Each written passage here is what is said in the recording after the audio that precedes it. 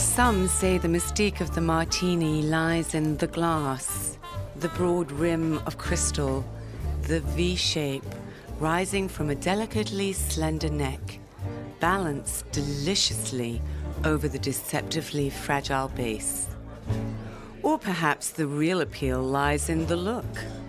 Polished elegance in a silver vessel, the clear liquid hint of untouched purity, the aesthetics of refined refreshment.